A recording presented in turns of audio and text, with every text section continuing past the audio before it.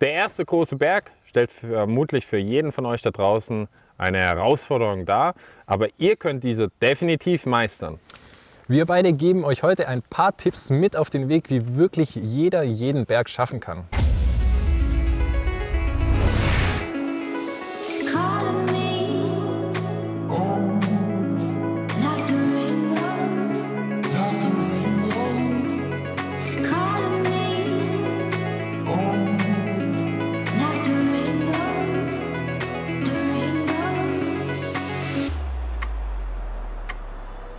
Um euren ersten großen Berg auch wirklich gut meistern zu können, fängt das Ganze schon mit der richtigen Vorbereitung an. Und da ist es extrem wichtig, dass ihr ausgeruht in den Tag startet. Also ihr solltet gut geschlafen haben und auch in den Tagen vorher nicht zu hart trainiert haben. Ein weiterer wichtiger Punkt ist, dass ihr für diesen Tag X, wo ihr euch den Berg vorgenommen habt, im Vorfeld euren Körper mit ausreichend Kohlenhydrate richtig aufgefüllt habt. Das heißt jetzt nicht, dass ihr an dem besagten Tag reinspachtelt wie die Weltmeister Morgen davor, sondern dass ihr wirklich die kompletten Tage davor immer wieder konstant gute Kohlenhydrate eurem Körper zugeführt habt.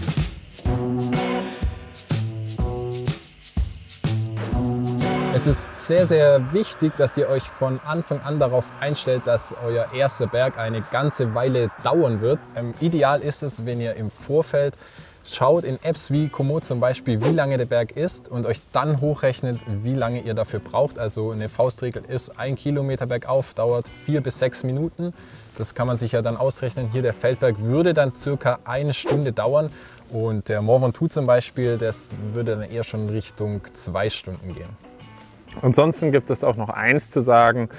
Wenn ihr ähm, den Berg hochfahrt, ist es wichtig, dass ihr euch während dem Berg auch mit ausreichend Flüssigkeit versorgt und gegebenenfalls mit etwas zuckerhaltigen, zum Beispiel einem Energy Drink oder einem Gel. Wenn ihr wirklich mal in einem absoluten Tief seid, dann könnt ihr auch zu jeder Zeit mal anhalten, könnt euch 10 bis 15 Minuten hinsetzen, das ist absolut keine Schande und könnt euch sozusagen resetten. Dann geht es weiter, denn am Ende des Tages ist es einfach nur wichtig, dass ihr oben ankommt, egal wie und egal in welcher Zeit.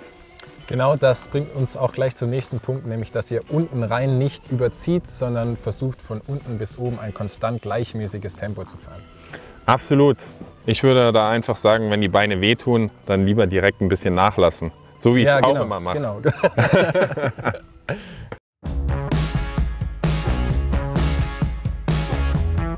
Kommen wir jetzt noch zu einem weiteren wichtigen Punkt und das ist das Thema der Übersetzung. Hier ist es für euch auf jeden Fall wichtig, dass ihr diese vorher überprüft. Heißt zum Beispiel, wenn ihr hinten nur ähm, im größten Ritzel 23 Zähne habt, dann solltet ihr euch Gedanken machen, gegebenenfalls eine größere Kassette zu montieren, die dann vielleicht 28 oder 30 Zähne hat. Das gleiche gilt vorne für das große und kleine Kettenblatt. Hier bietet sich auch eine sogenannte Kompaktkurbel an, mit der ihr mit Sicherheit einen Berg gut meistern könnt.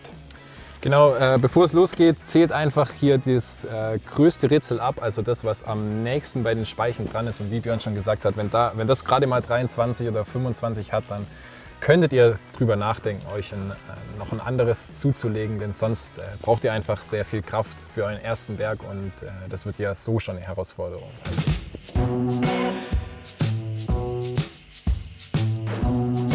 Denkt auch daran, dass es pro 100 Höhenmeter 1 Grad kühler wird, was ja bei so langen Bergen dann schon eine ganze Menge sein kann. Also ich glaube, Mont Ventoux sind 1500 Höhenmeter. Wenn es unten 20 Grad hat, hat es oben nur noch 5. Nehmt euch deswegen immer eine Jacke oder ein Gabber mit.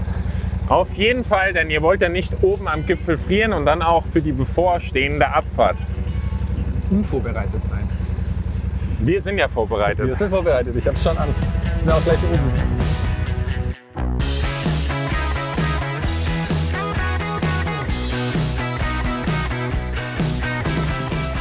So, wie sieht es bei euch aus? Welchen Berg wolltet ihr schon immer mal erklimmen, habt es aber bisher noch nicht gemacht? Schreibt es uns bitte gerne in die Kommentare. Wie ihr seht, es ist alles kein Problem und ich bin davon überzeugt, dass ihr das auf jeden Fall packen werdet. Dann gibt es jetzt nur eins zu sagen. Danke fürs Zuschauen. Wenn euch dieses Video gefallen hat, so würden wir uns über ein Like freuen. Und für weitere coole Bergvideos abonniert jetzt unseren Channel. Cheesien auf Deutsch. Wichtig.